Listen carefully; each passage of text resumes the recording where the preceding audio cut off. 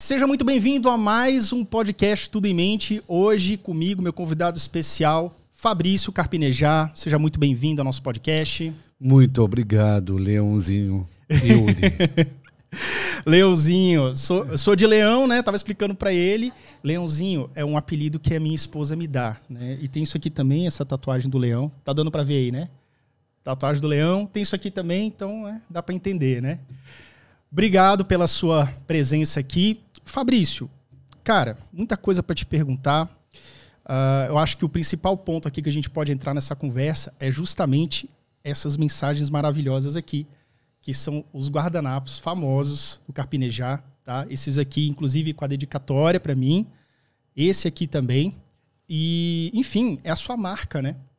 Eu queria entender como é que veio essa ideia dos guardanapos, dessas mensagens que a gente, tanta gente se identifica com você. Vamos falar um pouquinho sobre isso? Todas as virtudes descendem de um defeito que você se dedicou não um defeito que você superou, um defeito que você se acostumou. Eu sempre fui criticado pela minha letra feia na escola, ilegível, a cara ducha, aquela letra que ninguém entendia nada, a não ser o próprio autor. E de tanto enfeiar a minha letra, ela ficou bonita, porque ela ficou diferente. Sensacional. E uma coisa que eu achei interessante também, que eu até perguntei para você assim, Fabrício, você criou uma fonte para o computador para fazer desse jeito tão certinho? Não, é você mesmo que escreve. Eu adoro esse momento de concentração para não furar o guardanapo. O guardanapo não é uma folha adequada para se escrever. Você não pode pressionar muito a ponta da caneta que rasga. Precisa da força certa. É prática. E também o guardanapo é uma representação do que somos frágeis. O guardanapo rasga com facilidade como nós. Todo mundo é um guardanapo. Todo mundo já se sentiu amassado e jogado fora. E o guardanapo, quando você escreve nele, você perpetua a sua existência. É tão importante ser um guardanapo com algo escrito dentro. O único jeito de proteger a nossa fragilidade é escrevendo o que sentimos. Uma forma de registrar. Registre. Para, para nunca ficar refém de ninguém. Nunca ficar refém da opinião dos outros. Evolua com a sua voz, desenvolva a sua voz. Se você não sabe o que escrever, você pode registrar tudo o que você gosta neste determinado momento. As músicas que escuta, os filmes, as séries. Daqui a 10 anos, você vai olhar para quem você foi com ternura. E não sentimento de culpa ou qualquer coisa assim. Por que as pessoas repetem os seus padrões de comportamento? Porque elas não registram quem foram. Elas esquecem das palavras, das emoções, dos sentimentos. E aí você vai, vai cair no ato falho de reincidir no erro. Você tem a obrigação de criar uma memória pessoal para que nunca fique à mercê de qualquer pessoa familiar, de qualquer testemunha. A nossa memória é absolutamente particular.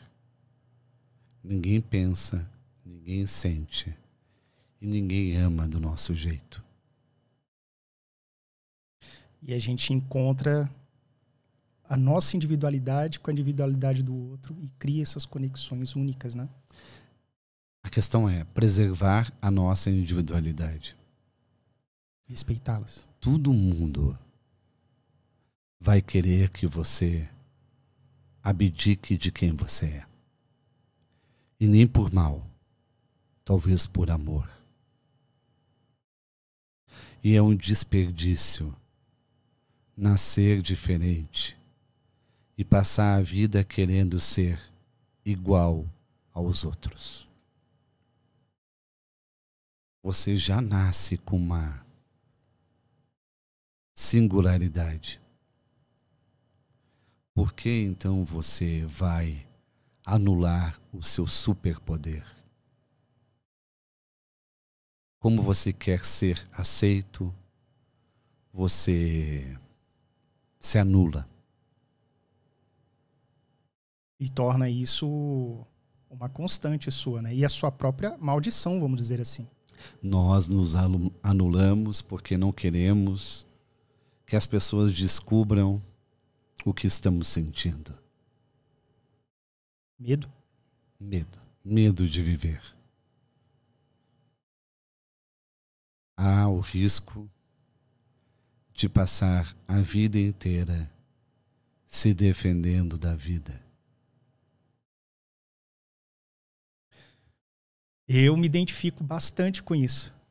E acho que até as pessoas que seguem aqui o podcast também. Muitos vêm do TDAH descomplicado e muitos vêm de situações como essa, de pessoas que desde a infânciazinha procuram se adequar, procuram sair do, do seu jeito particular de ser para tentar se adequar muitas vezes a uma situação que você não entra. É igual aquele brinquedinho que se aprende com dois, três anos de idade, você botar o quadrado no triângulo. Não tem como. É, o medo nos leva a ser uma pessoa mestrada. Entendi. O medo nos leva a nunca falar no tempo certo dos nossos desejos, a chegar atrasado na alegria. Todo mundo tem uma sensibilidade que é como se fosse um instrumento raro, um violino feito de uma árvore. Essa árvore carrega o vento que passou por ela. Você não tem ideia do quanto você é especial do quanto você demorou para ser gerado. O que precisou de milhões de possibilidades para ter essa certeza de estar vivo. Nós não podemos acertar sempre. Só que você quer acertar para ser amado. Quando você descobre que alguém ama você no momento que você erra. Há um costume que eu julgo extremamente débil. É um costume que perpassa tanto a vida pessoal quanto a vida profissional. Que é ninguém elogia você depois que você terminou uma tarefa. Todo elogio acontece no início da tarefa. Mas você não quer elogiar ao final para que a outra pessoa não se sinta, não se veja como vitoriosa, triunfante. Exato. O que, que adianta uma grande vitória final, sem as pequenas vitórias comemoradas até chegar nela? Nada. É o que falam sobre a jornada, não?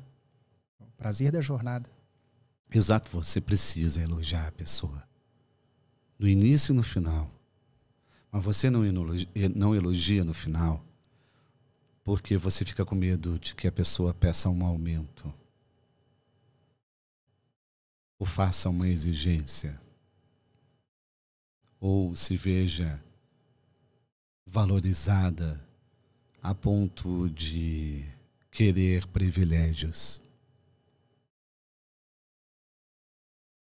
Nós temos uma ideia de que o silêncio, não falar, não emular, não esperar, faz com que a outra pessoa seja mais competitiva. Não. Que ela se sente insuficiente. Espíritos livres são criados na alegria. Se você tem que ficar mendigando o elogio. Você vive como um espírito triste e rastejante. É a treva. Você não pode permanecer ou demorar onde você não é amado. E não importa se é pai ou mãe ou irmão. Você deve se distanciar para a sua saúde emocional de quem não ama. E quando a pessoa tem medo da solidão, prefere estar mal acompanhado do que. Se tem medo da solidão, ela já é mal acompanhada de si mesma. Verdade. Ou seja, você apenas vai refletir a má companhia no outro. Eu amo a minha solidão. Porque a solidão é o meu temperamento. A solidão é minha personalidade. A solidão é onde eu posso me abastecer de ternura e combater a pressa. O mal, hoje, é a pressa. A pressa destrói tudo. Você se torna avarento pela pressa. Você se torna egoísta pela pressa. Você se torna mal educado pela pressa.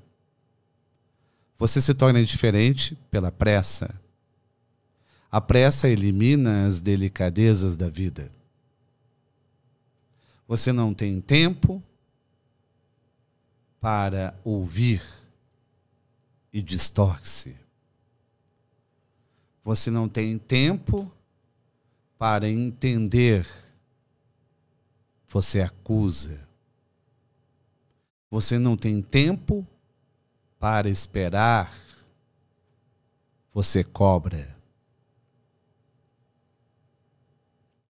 Se você corrige a pressa e impaciência da sua vida, você corrigiu tudo.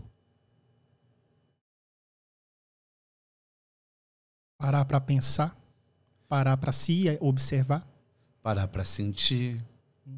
Você vai cometer menos equívocos, menos enganos. O ciúme é feito do quê? Acho que é feito do medo. Da pressa. Da pressa. Você faz um julgamento rápido de um medo. E atropela o outro.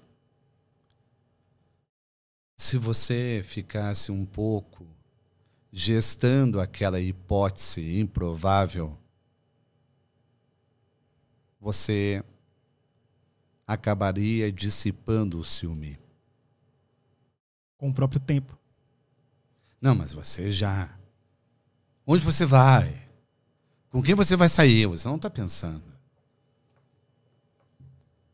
E o ciúme é infantil. O ciúme é bobo. O ciúme é não confiar no outro. O ciúme é não confiar em si. E a pior desculpa do ciúme, sabe qual é? Fingir que você confia. Nossa. Você diz, eu confio em você, mas eu não confio nas outras pessoas. Eu nunca entendi essa. Quando não quer, né? Eu não entendi essa equação. É. Ou seja, então, essa pessoa que você confia vai Tá à mercê da aceitar qual- dos outros. ah, vai aceitar qualquer coisa dos outros? Que louco, né, cara? É. E veja como esse negócio do ciúme é algo que realmente impacta os relacionamentos, né? Bastante. É, o ciúme é esse fantasma. O ciúme é uma falsa presença.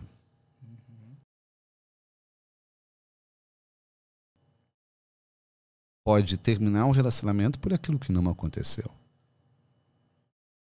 Você pode terminar um relacionamento por uma censura.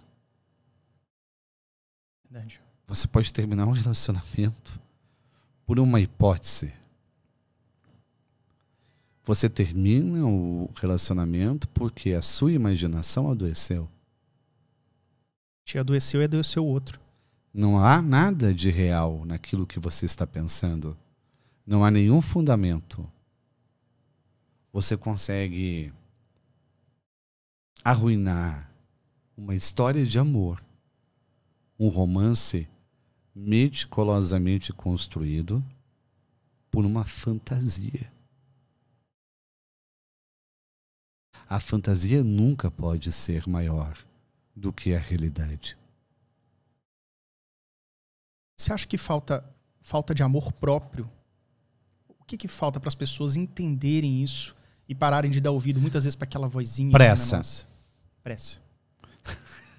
corrigindo a pressa. Você espanta todos esses males. A, a pressa, ela vai roubar os seus ouvidos. Depois, ela rouba os seus olhos.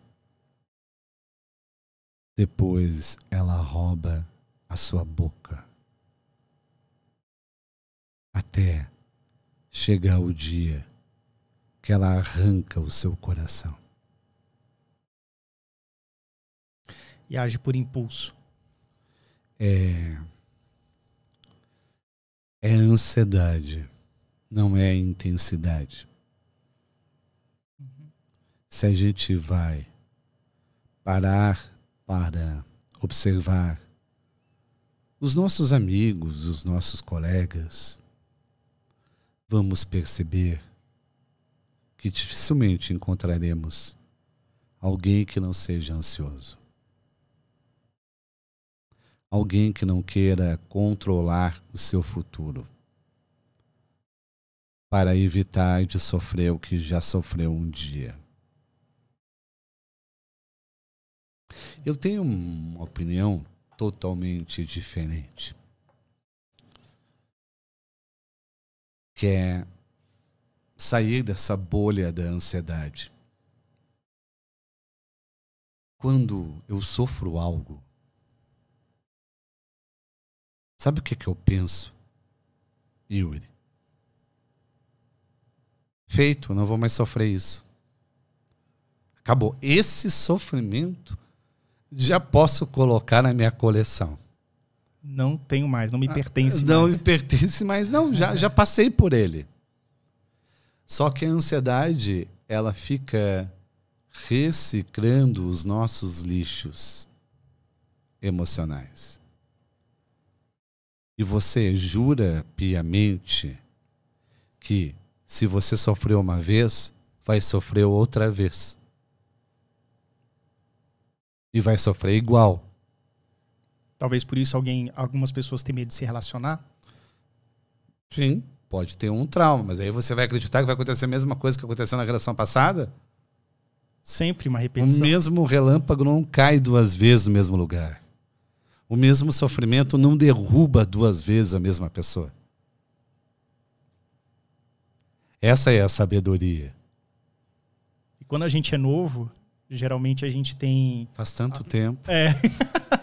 a gente tem a primeira, primeira namorada, e aí tem o primeiro término, que geralmente é muito raro alguém casar com a primeira namorada. E aí no primeiro término você pensa assim, puta, nunca mais vou ser feliz de novo, nunca mais vou encontrar ninguém. Vê aquele desespero. Mas aí tem o extremo da adolescência. Sim. A adolescência é tudo ou nada. É o amor ou o ódio. É a vida eterna ou a danação. Não existe o caminho do meio. Você odeia e ama de um minuto para o outro e talvez no mesmo minuto. É uma selvageria. A adolescência é uma selvageria. Você sente tudo como se fosse absoluto. Uma festa é a festa da vida. Uma piscina é o mergulho da vida. Um romance é o amor da vida. Depois, quando você vai juntando as suas perdas, você não é tão extremista. Sabe lidar melhor com a finitude das coisas. Isso. Aceita a finitude. Aceita a finitude. Querendo ou não, tudo aqui é finitude. Eu, por exemplo, eu sou casado há dois anos e sei que a frase até que a morte nos separe é uma frase real para todos. A gente não teme isso, né? Pelo menos não, não na, na maturidade né, atual, mas muita gente tem medo da finitude, né? O que, que vai ser de mim quando acabar tal coisa? Se você se dá bem com a morte, você pode viver muito tempo. Eu converso com a morte. Eu dou presentes para a morte. Eu suavizo a sua careta, a sua carranca, com palavras dóceis. Dificilmente ela vai querer me levar cedo, sendo tão gentil. Tem que tratar direito, né? É, Eu não temo o fim. Eu temo, e sempre temi isso, não sair do início. E o que é não sair do início? É ter um projeto e não bancar. É se apaixonar por alguém e não bancar. É manter aquela euforia do início e não ter disciplina para a constância, para seguir adiante. O que me dá a sensação de que todo mundo já encontrou, depois dos 30 anos, o seu grande projeto de vida. Mas alguns, ou grande parte, não levou a cabo. Não pagou o preço. Como você paga o preço? Se você deseja muito algo, uma carreira, um sonho, uma ambição profissional, uma vida perto da sua, renunciando tudo o que você tem no momento para se dedicar àquele foco. Mas as pessoas não querem perder. Elas não querem ganhar, mas também não querem perder. Querem acumular? Que revolução vai acontecer na sua vida? Se você nunca enfrentar o medo de frente. Se eu tivesse que me planejar para ser pai, eu nunca teria sido pai. Porque eu sempre encontraria um defeito. Eu nunca estaria suficientemente seguro. Financeiramente ou emocional, eu sempre pensaria: eu quero ter um tempo para viajar. Ah, eu quero ter um tempo para poder ficar virando as noites trabalhando. Quero investir no meu projeto, na minha carreira. É, exato. Quem, quem, quem não quer ter filho fica contabilizando o quanto vai gastar com fraldas. E a pessoa acha que nunca está pronta. Nunca. Mas talvez a gente nunca esteja pronto mesmo para as coisas. Não. Você Essa não é pode estar pronto. Como você estará pronto não tendo filho? O filho que faz, que faz a paternidade, o filho que faz a maternidade, o filho que faz você. Não é você que ensina o filho a ser filho. É o filho que ensina você a ser pai ou mãe. Eu fui pai adolescente, estagiário lascada. E como aquilo impulsionou a minha vida. A Mariana, minha primeira filha, me despertou uma gana de viver. Tudo o que eu adiava antes dela, eu passei a fazer por mim e por ela. eu não ficava mais reclamando, lamuriando. Se tinha que acordar, eu acordava. Se tinha que dormir, eu dormia. Eu fiz tudo o que eu fiz na minha vida. Porque a paternidade foi a alma da minha vontade.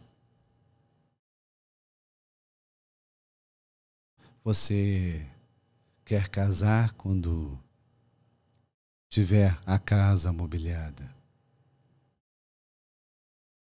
Você não sabe quando vai durar a outra vida. Você não é onisciente. Nunca saberemos quando será a última vez. O último dia. A despedida já pode ter acontecido. Você vai se dar, se dar ao luxo de esperar? Ao luxo de adiar? Porque toda espera longa é adiamento. Você considera que a vida brinda os corajosos? Sim. Como na sua visão acontece isso? A vida é dos corajosos, dos ousados, de quem se assume por inteiro, de quem reconhece as suas falhas, de quem já sofreu na vida e tem a humildade para ouvir o sofrimento do outro. A coragem é não ter escolha. O medo sempre tem várias opções. Você faz aquilo não porque é fácil. Você faz aquilo porque é certo. Caramba. Se vai ser difícil, é difícil ser honesto. É difícil não mentir. É difícil ser leal a alguém. Resistir a uma possível tentação. É difícil. A coragem é a dificuldade. Abraçar a dificuldade. E, se possível, fazer um cafuné. Com certeza. Fabrício, falando de relacionamento, uh, eu lembrei da adolescência, da jovem, eu já não sou mais jovem adulto, tô com 38. É que para mim você é jovem, para você mesmo deve não ser. Mas uma coisa aqui que eu me veio à cabeça é sobre paixão e amor. Por que que parece, até pelo que a gente falou, que o adolescente ele ama mais, mas será que aquilo é paixão, aquilo é amor de verdade? Ah, não, o adolescente se apaixona mais. Não ama mais. O amor, sinceramente falando, só acontece para quem já caiu uma vez. O que me leva a crer que o amor só vai acontecer no segundo, terceiro, quarto relacionamento. E quando for, você vai saber. Porque você deve ter atravessado a tristeza antes, a saudade. Você só reconhece o amor depois de ter perdido alguém na vida. Antes da saudade é paixão. A felicidade, então, ela. A tristeza, É obrigatoriamente, é fundamental. Ela antecede a felicidade. Você descobre a felicidade após. Você só descobre o alcance da sua felicidade quando você já saiu de uma grande tristeza, de uma mágoa, de uma frustração. O amor não é sofrimento. O amor é paz. É ter sofrido antes para não querer sofrer mais. Saber onde você está se metendo, né? Ó, isso aqui eu não quero mais na minha vida. É ter a visão de que não deve testar os limites do outro. Não fazer separação à toa, como birra ou chantagem. Dar silêncio e espaço para o outro pensar ou se recompor. Não, de modo nenhum, impor o seu temperamento ou o seu ritmo. Amar é a coexistência dos contrários. Você não quer uma cópia de si mesmo.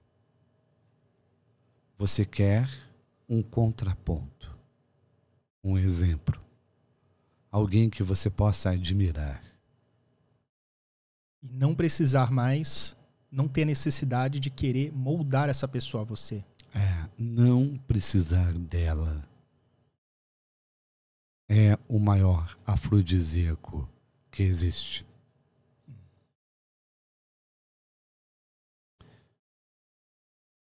Como eu faço para ser feliz com a Beatriz?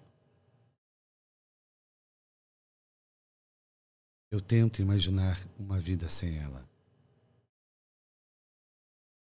Tento suportar essa vida sem ela.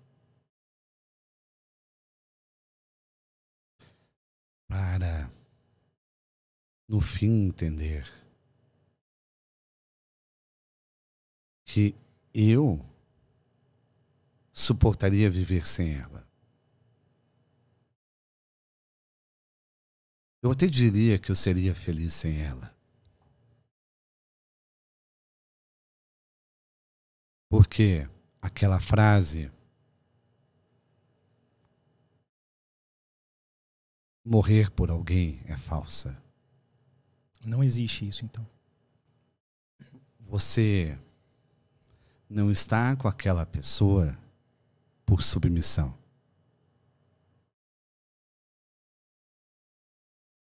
Eu estou com Beatriz porque eu nunca fui tão feliz. Ela despertou a minha melhor versão.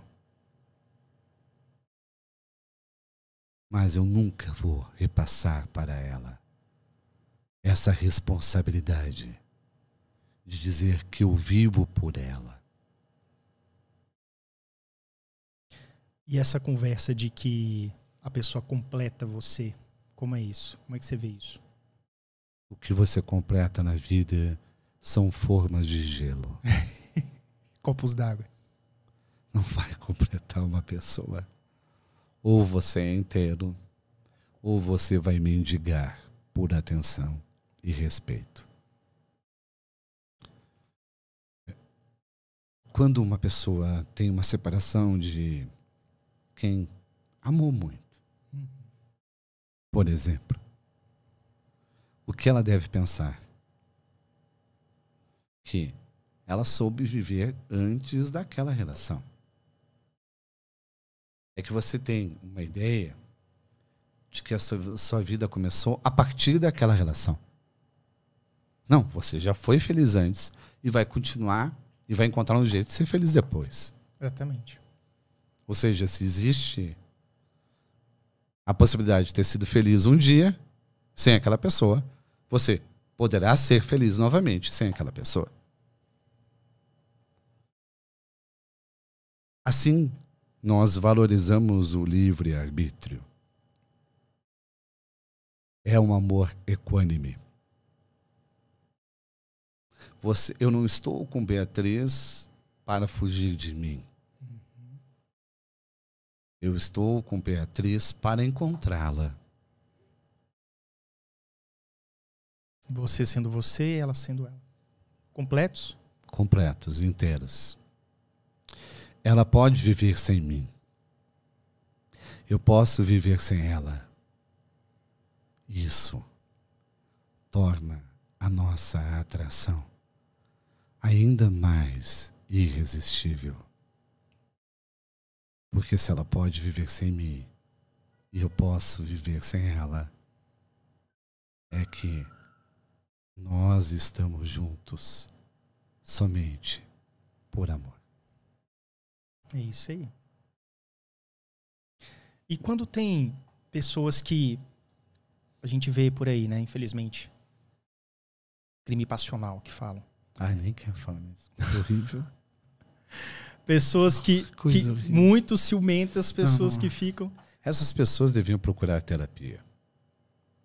Muitas delas até, até podem procurar, mas não conseguem não. se encontrar. Você acha que é um trauma que pode ter? Não, não, não. Não, não. Não.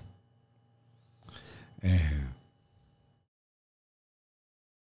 Essa morte, esse assassinato, aconteceu muito tempo antes. E ela nunca se desligou dessa obsessão. Não importava o que o outro poderia oferecer, ser, que era uma bomba relógio. É, você vai oferecendo cada vez mais espaço para sua passionalidade. Você grita no almoço. Não bastando, grita de tarde. Não bastando, grita na janta.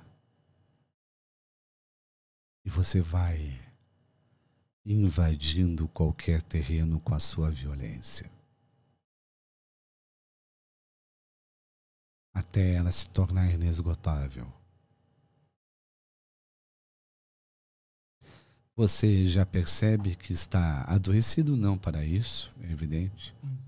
Agora, num grau mais leve, quando você não mais conversa você dá ordens.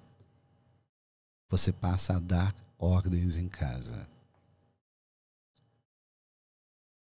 E ordens é excluir qualquer anteparo da gentileza. Em vez de dizer, poderia, por favor, me passar um copo d'água? Me passe um copo d'água.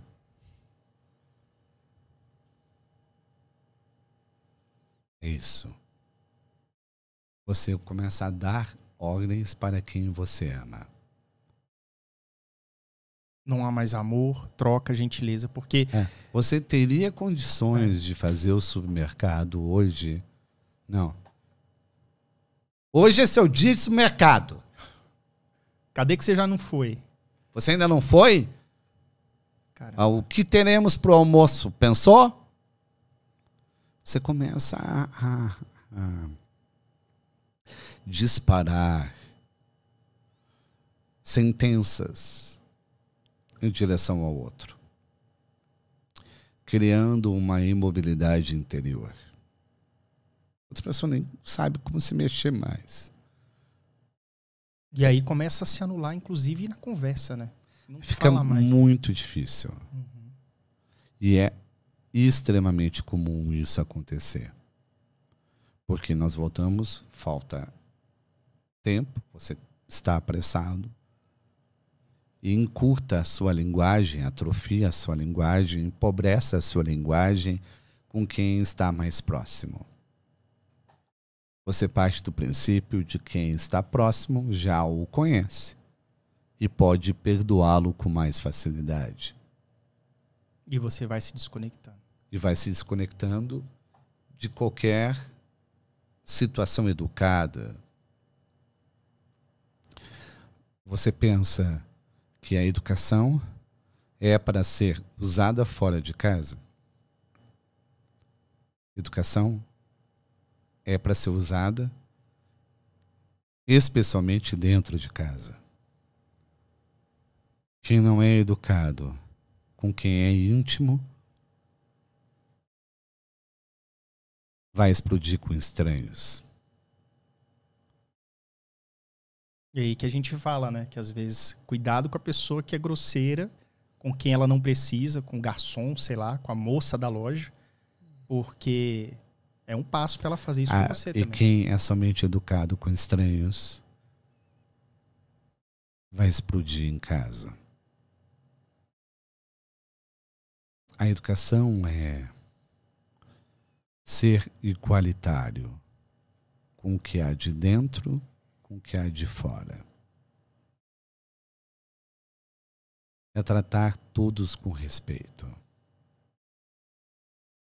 A vida é uma dança das cadeiras.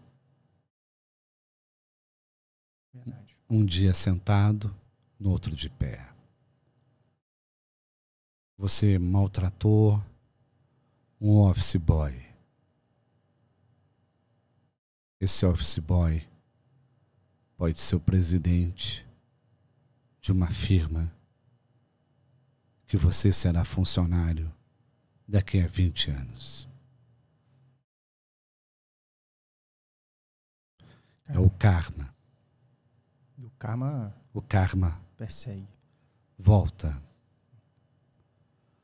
Todo mundo que você foi indelicado, hostil. Eu falo isso a maior convicção. Vai ter um segundo encontro. Só que você numa posição de desvantagem. Exato. O julgamento é feito aqui na terra. Nós que não percebemos. Se você é capaz de acolher quem não tem cargo, quem não tem sobrenome, quem só tem essa vontade de viver,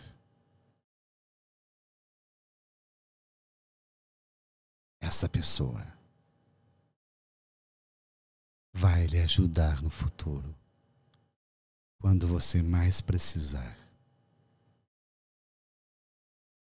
Justamente essa, né? Essa. Ou você vai ter o retorno pelo mal, ou o retorno pelo bem. Fabrício, uma pergunta aqui. Muitas pessoas têm uma, uma relação até com pais e filhos, né? Que às vezes não, não funciona muito bem. Ou o que, que a gente chama de funciona muito bem? Não funciona como a pessoa gostaria que fosse. É, muitas pessoas que eu conheço já passaram por isso de alguma forma. Já sofreram porque, ah, meu pai não me entende, mas meu pai não me ama, eu gostaria que fosse diferente, eu gostaria de ouvir um incentivo e tudo. É, tudo isso é possível. Tudo isso é possível, lógico. É possível ele não entender, não amar e não incentivar. Não é porque é pai que ama. É verdade. Não é porque mãe que ama. O que existe de pais narcisistas não tem tamanho. E por mais que você dê ou queira provar o seu valor, eles nunca ficarão satisfeitos. Acho que é uma coisa dos pais mesmo. O pai ou a mãe narcisista, eles estragam a sua alegria. Você não consegue comemorar nada na vida. Porque sempre você não fez o que eles esperavam. E é capaz de acentuar a sua tristeza. Ou seja, você não consegue nem sofrer com dignidade. Vai lá cutucar. Vai lá cutucar. Ah, para de fazer isso, para de fazer escândalo, hum. para de fazer drama. Para de chorar. O, o, a gente não pode ser refém, não pode ser é, tributário da nossa família biológica. Às vezes, a família biológica coincide em ser também a sua família espiritual. Às vezes. Mas às vezes você vai procurar a sua família longe dos laços sanguíneos. Então, aquele irmão que você não conseguiu ser para o seu irmão, você conseguirá ser para um amigo. E esse amigo será mais irmão do que o seu irmão. E é válido para você, alguém que se encontra numa situação de desamor. É Dizer válido... chega. Dizer chega. Parar de ficar buscando coisa onde não tem. Yuri. Você já disse chega? Tardiamente. Mas já disse.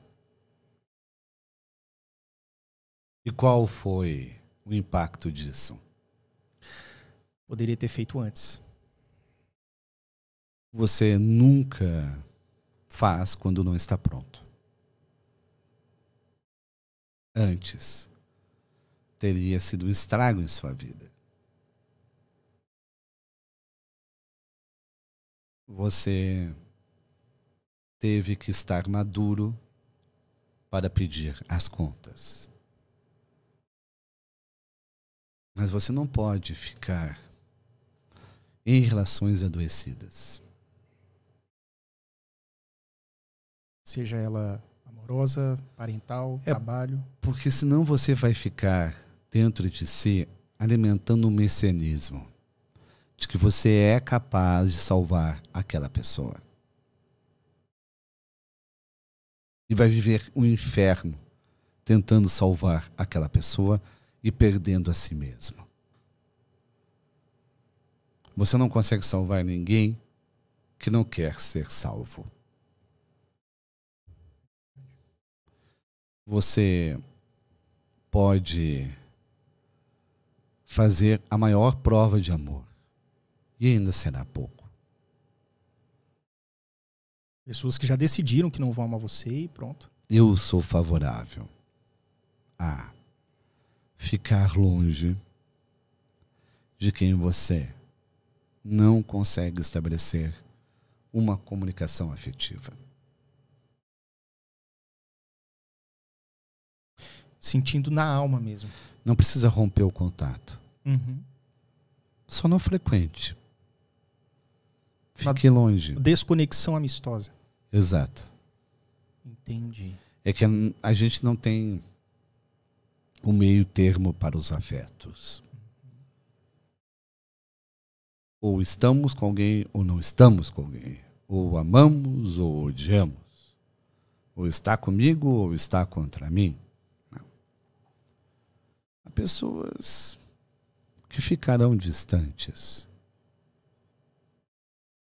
Ah, mas ficou tudo por viver com essa pessoa. Sim, não tem o que viver com essa pessoa. Não houve a sua expectativa. Não vai ter como concretizar a sua esperança. Isso é uma libertação, é um alívio. Com certeza. Porque você perde grande parte da sua liberdade, da sua espontaneidade, tentando fazer as pazes com alguém. Eu já tive uma grande amizade de 15 anos e por um motivo, um descuido. Saiba que essa pessoa está assistindo. É. Agora. Sim. Como tu sabe? Não, imagino que possa estar, talvez. Ok. Oi. Mas, é, e por um, por um descuido, por uma situação X, a amizade simplesmente se dissolveu, assim, e talvez tenha realmente ido para o mundo dos mortos. Acho que não. É que você convidou um telepata para falar com você. Eu não teria me arriscado tanto. Primeiro, vocês se gostam. A amizade realmente é sincera. E vocês estão olhando para o lado errado.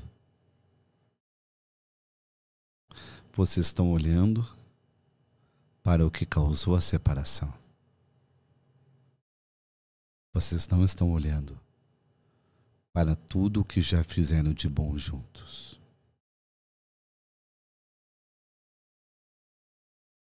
É que quando existe uma amizade bonita, sincera, nobre, você fica mais exigente com a própria amizade. Sim.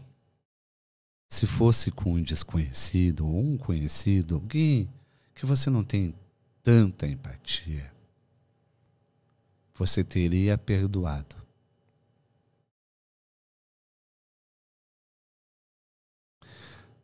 O que você pode ganhar ou perder perdoando? Você, ao perdoar, não está autorizando aquele comportamento. Vê só o que eu estou dizendo. Você não está sendo fiador de um erro. Você está dizendo para a pessoa que ela é para você maior do que o eu.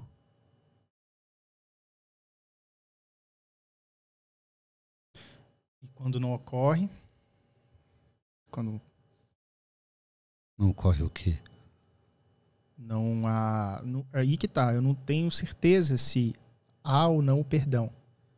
Mas quando a pessoa decide, tipo assim, o não. O perdão já aconteceu entre vocês. Já. Mas vocês ainda não estão informados.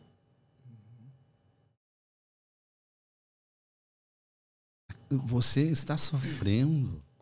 Por que vai ter que lidar com aquele amigo, com tudo que aconteceu na sua vida.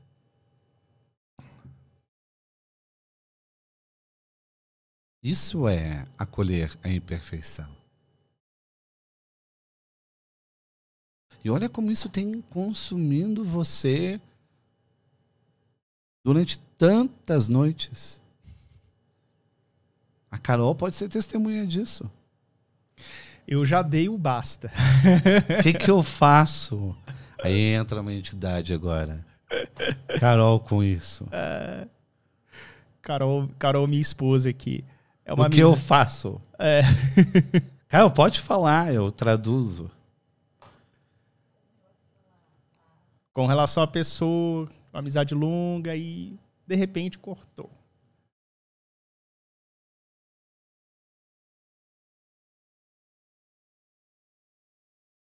Se há o sentimento de querer reatar, ela diz. Hum. Ela acha válido.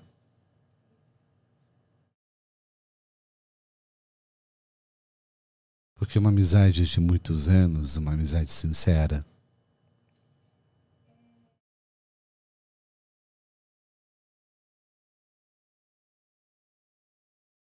é como você falou um dia, eu.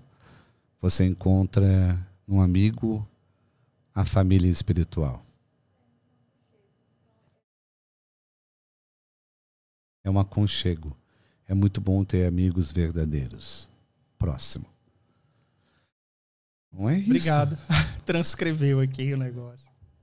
É, mas é, é, é simples. Eu acho que a gente tem que complicar. Quando tem raiva,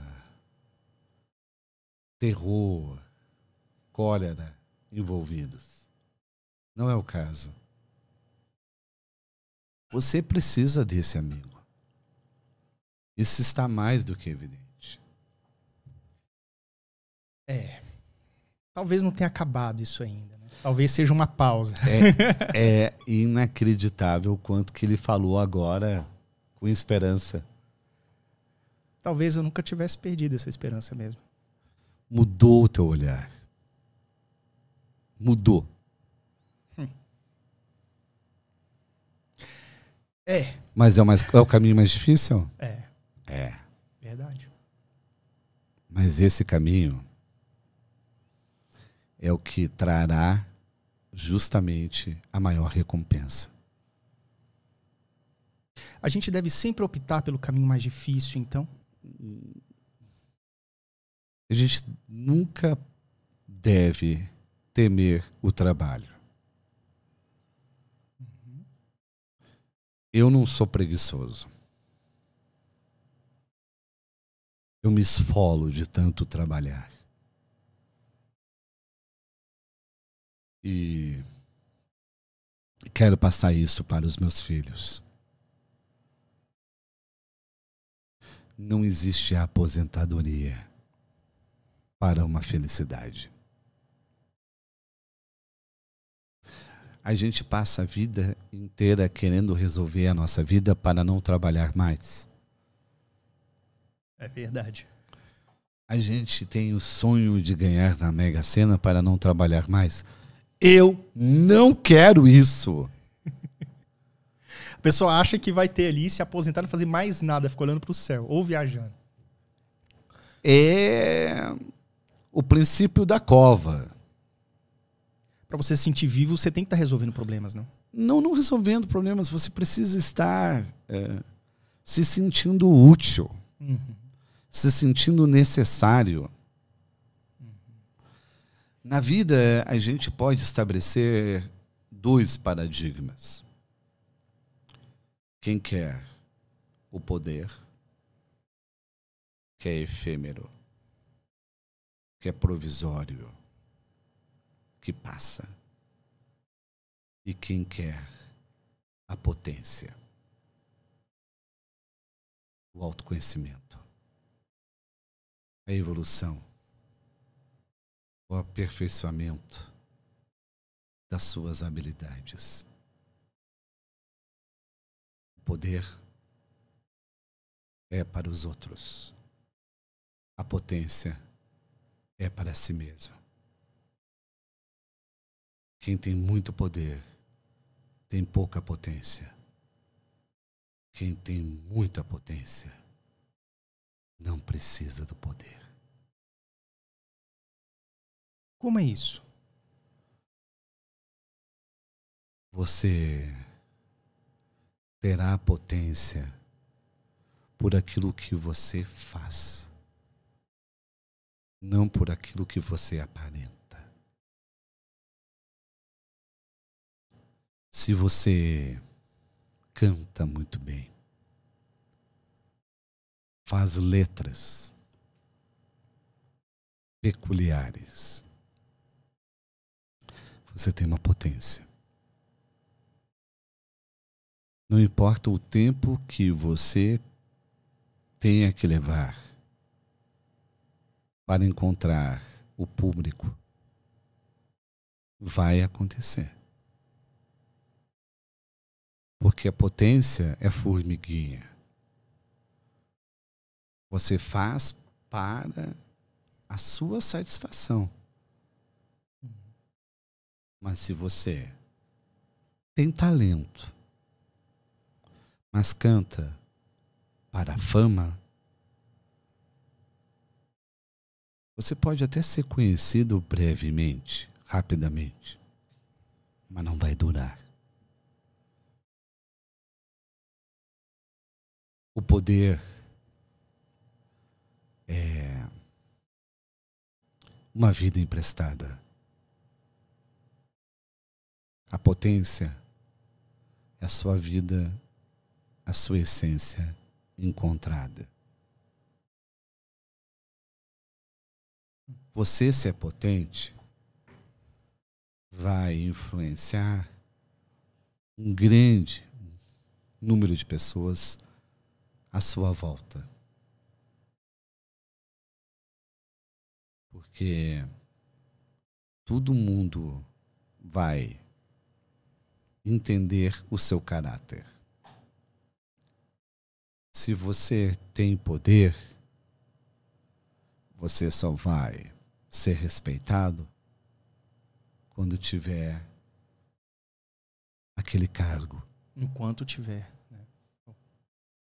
Porque quando cair, todo mundo vai virar as costas. O poder atrai oportunistas. A potência atrai fidelidade. Na vida a gente tem que cultivar a potência. A potência sempre, né? A potência se você pode ser famoso com a potência. Uhum. Como uma consequência. Mas de repente não vai ter centenas de milhões de seguidores. Mas terá uma representatividade tão sólida, tão compacta, tão indisfarçável, que nunca vai embora. Faz parte de você. Faz parte do que você acredita. Você não está fingindo ser alguém. Nós imitamos quem já fez sucesso. Isso é querer o poder. Nós devemos cultivar o que nos faz bem. Isso é ter potência. A potência, então, tem muito a ver com a sua autenticidade. É você, autenticidade. É autenticidade pura. É você estar tá conectado com aquilo. É não querer, nossa, esse cara aqui faz isso, eu vou fazer também. Exato. Deu certo com ele, você acredita que vai dar certo com você. E claramente, na grande maioria das vezes, isso não acontece. Né? Não. É... é criar vínculos de algoritmo. Não criar aproximações e parentescos de alma. Você convive com quem você não gosta. Porque sabe que essa pessoa tem poder. Mas você está maltratando a sua estima. Poder vai gerar vaidade, luxo, tudo que é dispensável. A Sim. potência vai gerar o quê? Essa autenticidade. Você vai saber, Completude, talvez. você vai saber dizer não. Isso. Você vai afastar pessoas que não combinam com você. Você tem muito menos com a potência. Porque você é muito mais. Você tem muito mais com poder de quantidade. Porque você é muito menos. Com certeza. Então, talvez a gente precise revelar mais as nossas potências de dentro para fora e ficar menos sujeito ao poder de fora para dentro. Tem muito a ver com o fato. Muitas pessoas me seguem sobre o tema TDAH. Muitas pessoas têm medo de serem elas mesmas. Medo de fazer aquilo que elas acreditam. Porque a vida inteira, como acontece com qualquer pessoa, as pessoas tentam moldar você. Eu entendo.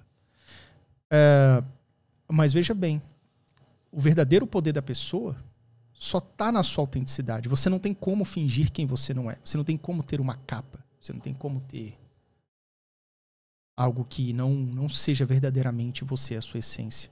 Talvez essas pessoas tenham caído numa cilada que é se ver como o outro enxerga ela.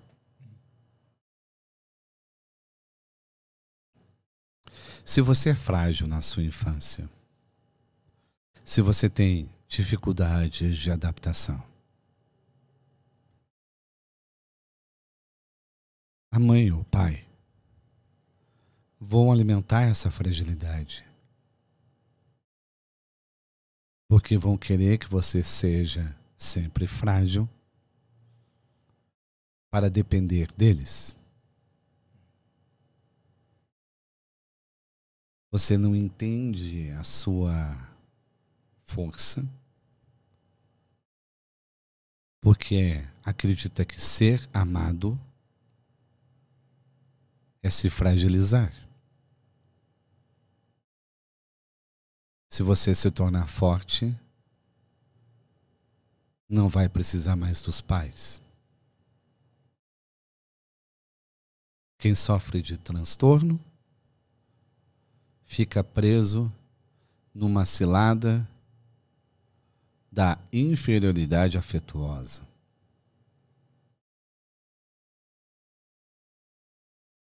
O amor faz mal também.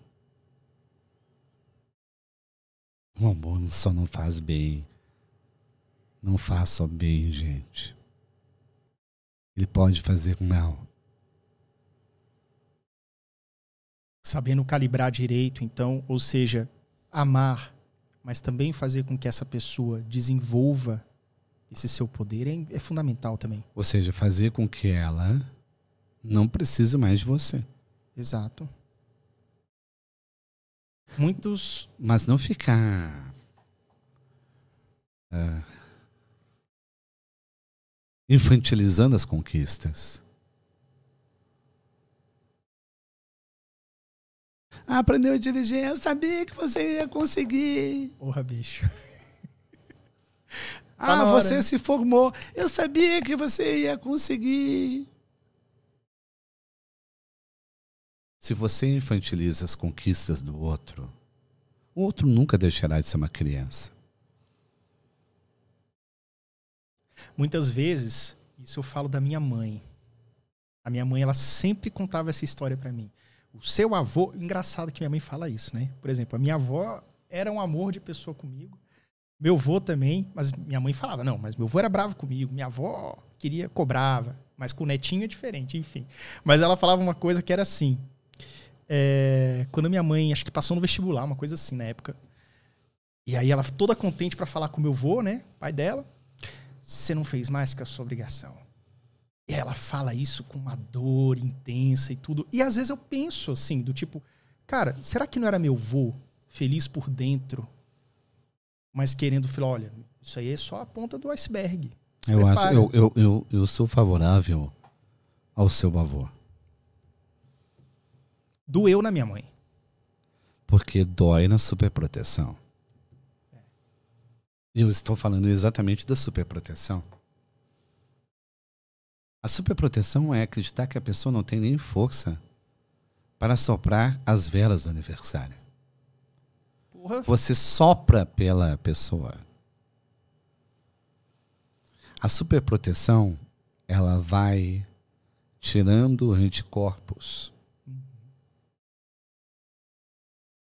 Vai tirando a individualidade dos erros. Tem que deixar a pessoa quebrar a cara. É. Deixar quebrar a cara e consertar o que restou. Vê. Se uma família tem duas filhas e dois filhos, a mãe deve gostar mais dos filhos. Você acha isso? O pai deve gostar mais das filhas.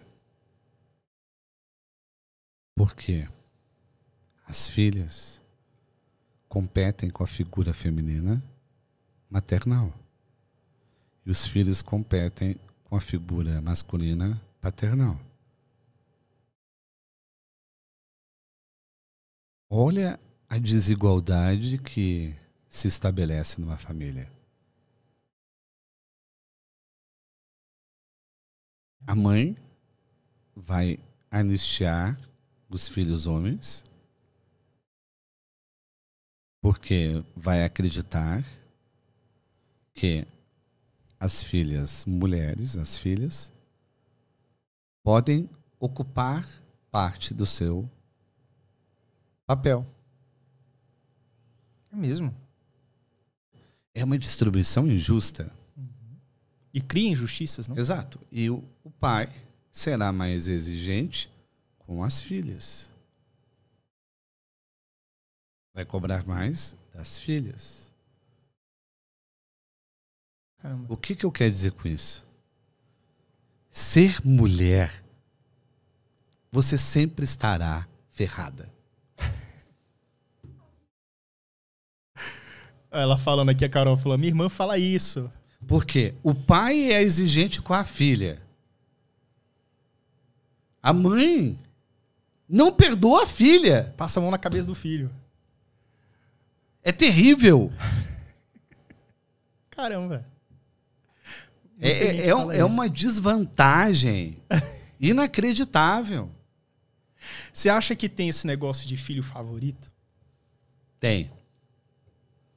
Tem. Você tem o seu filho favorito. Que é o filho favorito de um momento. Isso já aconteceu várias vezes. Vicente é meu favorito de um momento. Mariana é minha favorita de um momento. Vicente torna-se favorito de outro momento. Mariana. Porque depende do momento que você precisa do filho. Sim. Uma hora você vai estar mais próximo de um, outra hora mais próximo do outro. E também o filho vai te ver como favorito ou não, dependendo do seu momento. Tem uma coisa que é o seguinte: é, alguns filhos entram numa espécie de competição. Não é uma competição. Eu tô falando uma competição saudável. Eu tô falando competição agressiva, tá? Isso aí já acho que já é doença, já é outra coisa. Mas vamos lá. É do tipo assim: ah, esse o meu irmão, ele é mais estudioso. A minha irmã passou na faculdade primeiro, vamos supor, coisas assim. E aí cria uma competição do tipo assim: pô, a minha irmã virou médica. E os meus pais se orgulham disso. Logo, eu tenho que ser médico também, vamos supor. Sendo que, talvez, como você tenha dito, naquela hora, aquela seja a filha favorita, naquele momento do triunfo. Agora, a outra, Não, e o filho não precisa ser o favorito no triunfo. Pode ser o favorito no fiasco. no fiasco também. Mas também, e tem aquela questão assim, mas a outra, outro irmão, ele tem um tino muito melhor para as artes. Ele poderia ser um grande artista, só que ele está tão focado em passar em medicina que ele não não olha para si. E poderia ter esse reconhecimento também dos pais se fosse um grande artista, que ele já é, só que não descobriu ainda. Mas aí não é emular, não é imitar. Isso não é competição, isso é imitação. Imitação. Tem muitos que. É, a, a, a Carla, minha irmã, ela foi sempre um exemplo de excelência para mim. Sim. Não porque eu segui a área dela, que é jurídica. A Carla é procuradora em Porto Alegre. Mas porque eu segui a sua a sua dedicação, a sua devoção. Eu tenho certeza se eu sou um bom escritor hoje é pela presença da Carla em minha vida. Que não é escritora. Que não é escritora. Mas fez com que eu nunca ficasse satisfeito com menos. Essa que é a questão. Você pode ter uma nota alta, mas não ter atingido o seu máximo. Você pode ter um 10 e estar na metade da sua performance. O risco é se conformar com aquele 10 e não ir adiante. O 10, para mim, é mais inibidor do que um 5, um 4, um 3, um 2, um ou até o zero. Será que eu já, já atingi o meu ápice? É isso? Você tudo? não, você acredita que atingiu o ápice e passa a usar aquela referência para tudo na vida. Vaidade, talvez? Não, pelo contrário, comodismo. Uhum. Precisar me esforçar tanto mais para tê-lo de novo. Só que o 10 daquela avaliação, daquela pessoa, daquele olhar, e você poderia dar muito mais. Uhum. Você faz três gols numa partida. Você vai acreditar que não pode fazer quatro, cinco ou seis? É verdade. Muita gente pensa assim, não chega. Chega não. Eu chega não. mais. Tá nos 40 minutos do segundo tempo. Tem mais cinco aí. Exato. É isso. E é essa garra que a gente tem que ter na vida, né? É. É isso. Qual é minha nota? Só você pode se dar. Mais ninguém. Verdade. Então, entenda toda e qualquer glória como provisória. Nunca é, não tem uma linha de chegada, então. Você está sempre andando e sempre procurando o próximo. Você sempre vai estar querendo superar aquele obstáculo que é uma vitória. Entendi. Caramba, sensacional. Pessoal, vocês estão assistindo aí. Se quiser mandar uma pergunta. Chegou alguma coisa? Ah, chegou coisa aqui, ó. É, vamos ler aqui. Vamos ler uma pergunta. Eu falei, rápida. eu estou falando muito difícil. Não. Eu acredito que não. eu, a gente vai. É, Fabrício, a gente vai, vai ler aqui uma perguntinha que chegou. E aí a gente vai dar um breve intervalo, porque podcast Tudo em Mente é o único podcast do Brasil que dá intervalo para os convidados e também para mim poder ir no banheiro que é fundamental, né? Ninguém aguenta ficar apertado. Eu já fiz podcast quatro horas e meia, Sem levantar uma vez para ir no banheiro, mas é bexiga de aço. Não vai acontecer isso. Não vai mesmo. Vamos lá. Vamos lá. Chegou a pergunta aqui. É... Caramba. Eu achei essa pergunta. Da... Vou... Chegaram três. A gente vai responder as três, mas vou responder uma aqui antes do intervalo. A Rose. Rose Francis, como lidar com uma pessoa que diz amar, mas não consegue expressar? Como lidar com essa pessoa que ama, mas não expressa?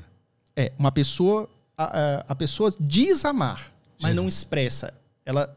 Talvez ela diga, mas não diga. as atitudes. É, uma coisa é dizer, outra coisa é agir. Não, não. Diz eu te amo, mas com atitudes não amo. Como é o nome dessa? É Rose Francis. Rose. Se você sabe que a pessoa ama, por que ela precisa dizer? Talvez ela não saiba. Sabe. É que ela quer o amor convencional. Hum.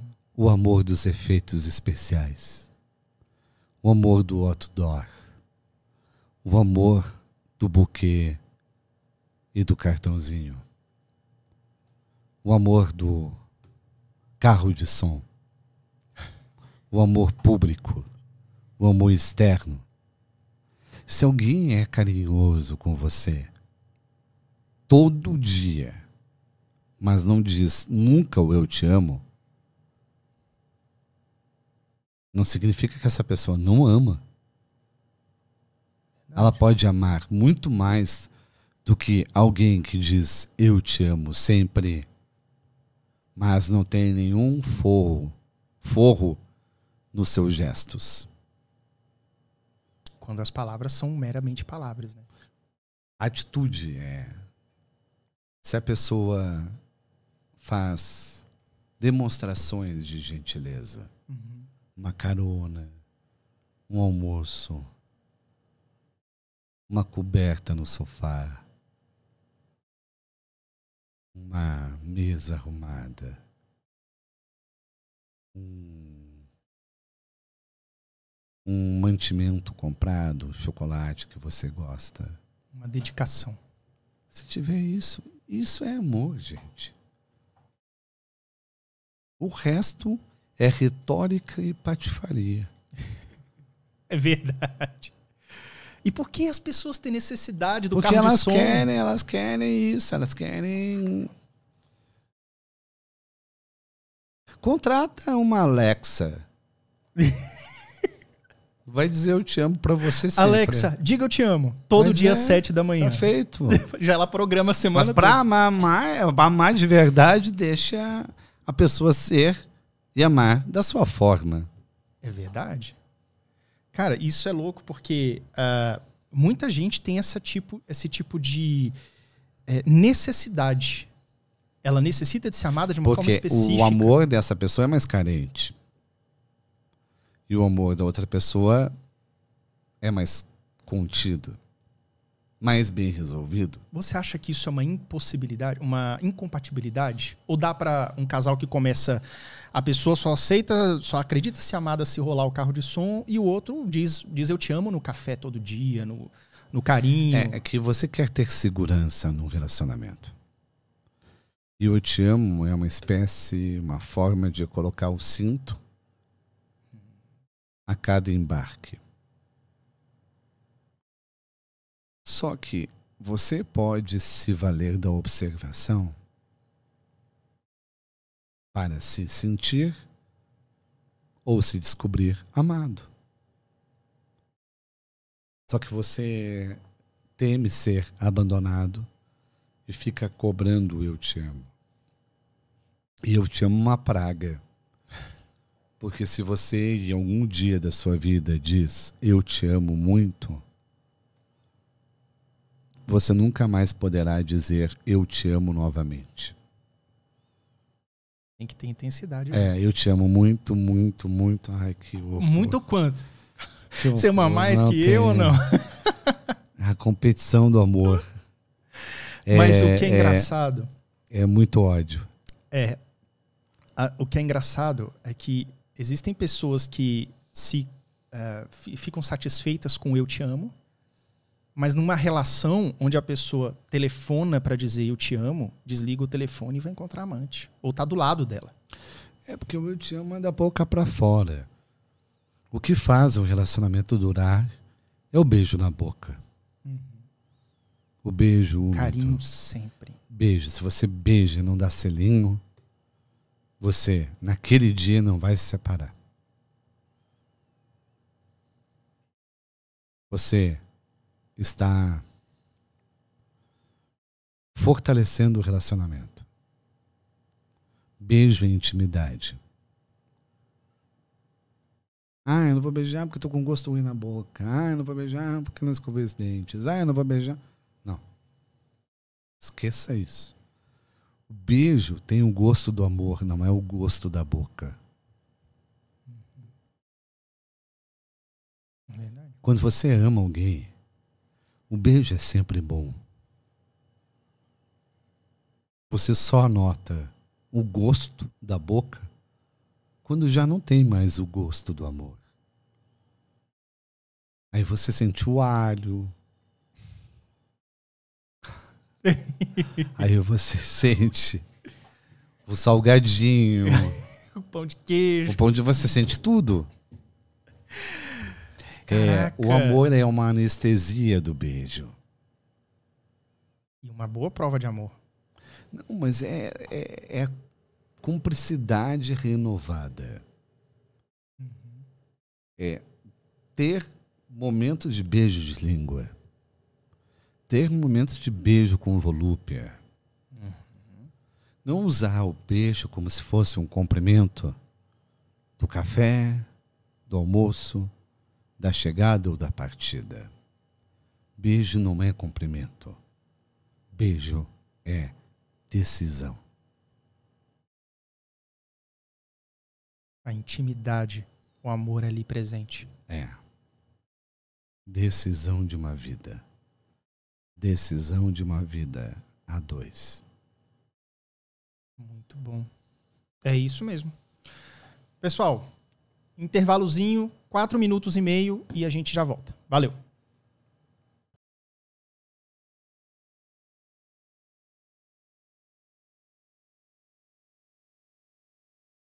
Estamos de volta no nosso podcast Tudo em Mente, aqui com Fabrício Capinejar. Fabrício, vamos continuar esse nosso papo. Uma coisa que eu queria comentar. Eu já ouvi você falando sobre isso e quero falar porque achei sensacional. A gente às vezes pensa demais, né? Sobrepensa demais nas coisas e muitas vezes a gente falta um pouco de habilidade para poder aproveitar os bons momentos com as pessoas que a gente ama. A gente quer, às vezes, fazer uma festa para 100 pessoas, quer fazer um grande evento. Não, vamos marcar e nunca. Aquele vamos marcar que nunca dá em nada. Mais uma vez você falou a respeito dos pequenos momentos, breves momentos. Como é que é isso? É, são os momentos imperfeitos, as moedas da existência. É você não ficar preso às notas, aos valores cheios a idealização. Você quer fazer algo inesquecível e deixa de fazer o básico. Você quer fazer algo marcante e deixa de fazer o simples. Como você não tem disponibilidade para muito tempo, você recusa o convite você recusa estar perto. Quando o encontro pode ser feito a partir de 15 ou 20 minutos. Se você não tem um dia para poder, poder matar a saudade daquela pessoa, que aproveite 15 ou 20 minutos para que a saudade não doa tanto depois. Nós adiamos encontros justamente por querê-los demais. Você quer o capricho e acaba deslizando para a inexistência. Que não tem nada, porque nunca vem esse dia. Nunca virá. Caramba. Você jura que terá tempo para isso e não haverá. Porque não existe esse tempo inteiro mais na sua vida. Não existe mais uma exclusividade. Você tem esses minutos que você pode usar como quiser. Só que você vai protelando, não fazendo e prometendo cada vez mais o que não tem condições de cumprir. Se não pode almoçar com alguém, tome um café. Se não pode tomar um café, passe para cumprimentar. Passar para dar um oi. Acabou. Desce aí. Tô aqui embaixo. Você vai tornar aquela amizade ou aquele afeto mais frequente. E será mais fácil retomar o convívio. Nós queremos é, sempre encontros que sejam arrasa quarteirão. Encontros fantásticos. Porque a gente quer ser elogiado. Você não será elogiado em 15 ou 20 minutos. Então você deixa de fazer para esperar um dia que receba o elogio. Mas será lembrado? Ah, será lembrado. E ser lembrado é melhor do que um elogio. Posso fazer um parênteses aqui? Hoje foi um dia completamente atípico. Uh, Fabrício viria aqui para o podcast, ele atrasou um pouquinho, né? Tivemos alguns contratempos. Fui ao encontro do Fabrício, ele não veio ao meu, que foi encontro dele para ajudá-lo e tudo. Acabou que a gente resolveu algumas coisas na rua, imprevistos. Conheci Pode o pai falar, dele. Eu tava com problema no olho. É. é, o problema secou, o meu olho ficou seco. Tempo e... seco de Brasília, gente. Então, e aí ele, ele pegou. Arranhou por dentro. Arranhou, e aí o Fabrício, né? Falou assim: olha, preciso de ajuda e tudo. Levei ele lá no hospital, foi lá na emergência, resolveu. Não tava caindo o olho ainda. Nem, nem, nem. nem vai. Mas enfim, e aí eu, nessa brincadeira, conheci o pai dele, Carlos Nejar. E foi uma honra, uma pessoa é, agradabilíssima. É, Almoçamos, divertida, almoçamos junto e tudo. Então, tudo foi é, do imprevisto, de um escorregão, de um tropeço, saiu uma situação que eu acredito ser inesquecível. Sim, porque você não queria impor a sua idealização. Uhum. Se você colocasse a sua idealização, Fabrício vai vir para o podcast. Fabrício vai almoçar comigo depois.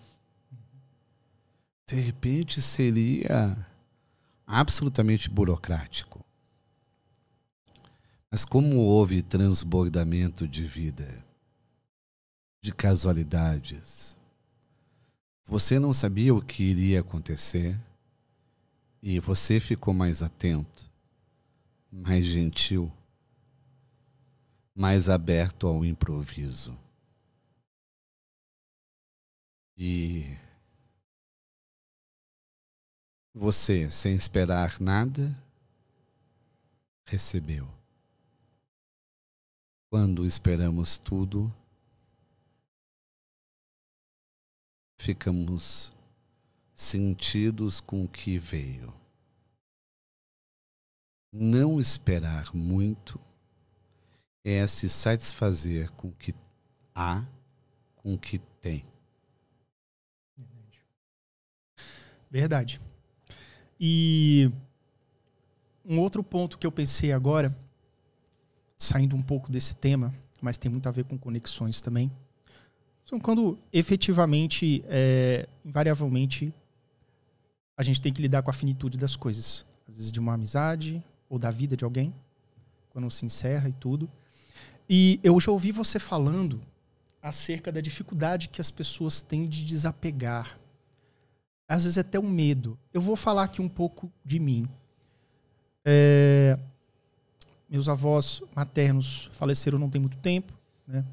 E ainda as coisas estão muito quentes. Não tem tão pouco tempo assim que faleceram, mas ah, tá tudo intacto lá na casa deles. Eu não sei até quanto tempo, entende? Mas é, é, é dolorosa essa. Costuma ser dolorosa as despedidas, né? O que, que você acha que. Como você acha que funciona a despedida, assim, do ser humano? É que você acha que seus avós tinham que viver mais para acompanhar a sua vida. Para sempre. É como se tudo que você tivesse vivido depois da morte deles não tivesse tido uma comemoração, uma um encerramento, uma aprovação. É que nós morremos para as pessoas que morreram. As pessoas que morreram continuam vivas dentro de nós. Isso é um problema seu. Não é um problema de quem partiu. Quem partiu não está pensando nisso. É você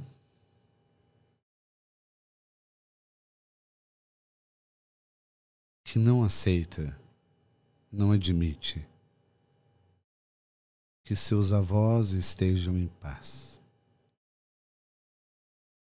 Você ainda acredita que eles estão precisando de você?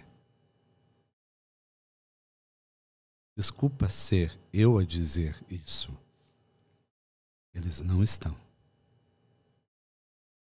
Eles já cumpriram a sua parte. Já viveram esse amor por inteiro com você.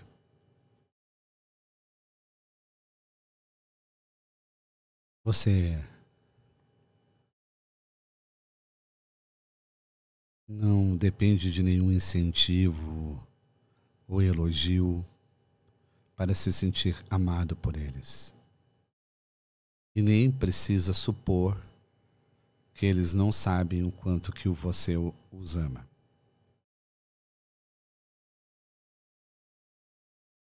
É, a generosidade de deixar alguém partir. não sofrer com esse egoísmo de querer prender a pessoa mais do que ela necessita estar por aqui. É verdade isso. E, e a é... casa vai existir na sua memória de um jeito intocável. Vocês podem vendê-la se desfazer dos móveis dentro do mobiliário. Não tem como manchar o que você viveu. Mas é um apego, não é amor. O amor liberta.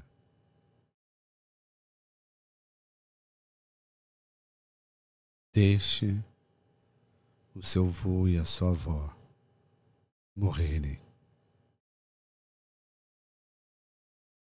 É. É, é realmente. Eu acho que tem muito disso realmente, porque é, fica a saudade, fica aquela questão de não, mas eu tenho certeza que no próximo Natal e, na verdade, não há mais nada e está tudo certo, né? Foram muitos natais, né? Saudade né? é o que aconteceu. É. Se é O que não aconteceu é apego. Isso aí. Nós ah, exageramos com quem se despediu. Exageramos porque a gente quer que essas pessoas que foram tão inestimáveis em nossa vida acompanhem toda a nossa vida. Não tem como. Até porque, quando alguém parte, é nessa hora que você realmente passa a escutar tudo que essa pessoa falou para você.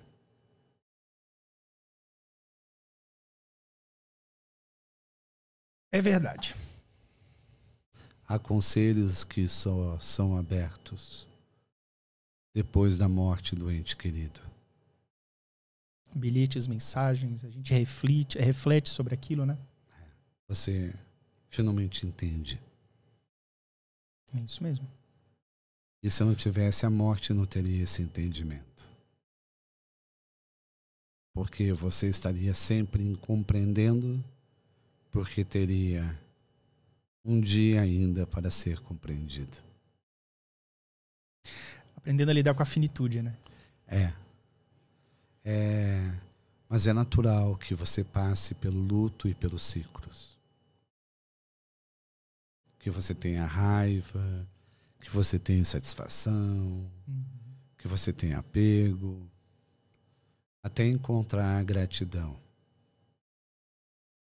O que aconteceu foi perfeito do jeito que aconteceu. É essa aceitação que tem que ter. É isso aí. A aceitação da realidade é sempre transformá-la para melhor. Perfeito. Pessoal, vamos ler mais algumas perguntinhas que chegaram aqui. Nós temos alguns poucos minutos, porque nós não queremos que o voo do Fabrício está chegando e nós não queremos que ele perca. -o. Então, algumas, mandar, algumas pessoas mandaram algumas perguntinhas aqui. A gente vai aproveitar, aproveitar esses últimos minutos. Marcos Paiva mandou o seguinte: Como você diferencia amor de paixão? A paixão é greve de personalidade. Você quer agradar. O amor é quando você diz a verdade. Você para de mentir. Você não quer mais agradar. Você passa a contar os seus defeitos. Tanto que o amor começa com uma grande confissão. Não sou bem assim. eu já ia falar isso, porque o início, né? Nossa, é tudo perfeito. Você tá apaixonado e tudo. Aí quando você começa. Não, não é bem assim que. Não sou tão perfeito assim. É, não é bem assim. Aí você começa a falar seus podres. E às vezes tem uns que ficam assim, como assim? É, se a pessoa fica. né? Porque o, o amor é uma decisão. Você coloca na balança. É. as virtudes e os defeitos e ver vale a pena continuar. Com certeza. Mas eu não, eu assim, ó, eu desconfio da paixão. Porque a paixão pode levar a amores abusivos, relacionamentos abusivos. É. Você não escuta os conselhos e advertências dos seus amigos ou da sua família. Todo mundo fala que é um bode Pula fora. e você continua dizendo não é um unicórnio. O terapeuta diz é um bode e você diz não, não é um unicórnio. Até que não sobra nada de pasto da sua vida. É. é verdade. Gente, atenção aos sinais, tá? Sinais dizem muito. É, vamos lá. A Rose é nossa fã, né? A Rose mandou pergunta pra caramba. Vamos ler mais uma dela aqui. É... Ah, a Rose foi a que perguntou Eu me lembro. Como lidar com uma pessoa que diz amar, mas não consegue expressar? Aí ela continuou aqui para continuar essa conversa. Ela não aceitou a resposta. Fabrício, fiz essa pergunta porque ela é uma pessoa fechada, mas entendi perfeitamente sua explicação. Aceitou. Uma então. pessoa, uma pessoa traumatizada com seu passado consegue lutar contra uma nova chance de amar? Essa pergunta aqui. Assim, se você está traumatizado por alguém, primeiro, não deve começar nenhum envolvimento. Recém, recém-separado não é uma boa, né? O que, que você acha? Não, Ou não é nem, isso? essa questão. Ah, Se você não se curou de um trauma, você não pode começar um relacionamento e trazer esse trauma para quem não tem nada a ver com isso. É uma falta de responsabilidade afetiva. Ah, eu sofri muito no relacionamento passado, por isso que eu não confio em você. Então, aprenda a sofrer menos e a confiar antes de começar um relacionamento. Relacionamento não é clínica de reabilitação, gente. Não é. Você não cura antigos amores com novos amores. Você só estraga. Você precisa de acompanhamento, de terapia, de exorcismo, de catarse, um tempo de solidão, um tempo solteiro. banho de sal grosso. É um... Exato. Se, Carrego. se possível, um banho não. Nade no sal grosso. Mas realmente isso é bastante comum. Assim, é, pessoas que pro- procuram um novo relacionamento para curar. Procura um enfermeiro, uma enfermeira, um médico, uma médica, um plantonista para curar a sua ferida. A sua ferida egóica. Ego. É Egóica, gente, porque todo mundo um dia foi abandonado por alguém. É verdade. Todo mundo já recebeu fora de alguém. Não transforme isso no imponderável. Na verdade, eu acho Como que se fosse que- um- uma exclusividade sua. Não é. E isso deveria ser, eu acredito, que orientado ou ensinado, qualquer nome que seja, desde o. Tipo assim, o adolescente chega cabisbaixo em, em casa. O que, que foi, filho? Ah, pai, eu tomei um fora. Ah, Filho, está só começando. Você vai tomar vários desses, já vai se acostumando. Não deveria ser assim? é isso. Eu quero. Não, o, o que eu achei estranho dessa situação é o filho dizendo que recebeu um fora para o pai. É. Isso pra mim é Isso inimaginável. aí é, né? Isso aí não rola, tá certo. Pessoal, chegamos aqui ao nosso tempo limite do nosso podcast Tudo em Mente. Fabrício, eu quero acreditar, eu quero agradecer bastante a tua presença, tá? Foi Muito um papo obrigado, incrível. Yuri. E, bom, o que eu sempre peço aqui para todo mundo que vem no podcast Tudo em Mente é: você tem alguma mensagem do seu coração, alguma, algum guardanapo para quem está ouvindo a gente? O que, que você gostaria de dizer para quem está ouvindo? Não arranque os espinhos de si. São eles que o protegem. Perfeito. É isso. Muito obrigado pela sua Obrigado. participação, tá? É isso, gente. Valeu também por terem assistido e vejo vocês no próximo podcast Tudo em Mente. Valeu, até logo. Tchau, tchau.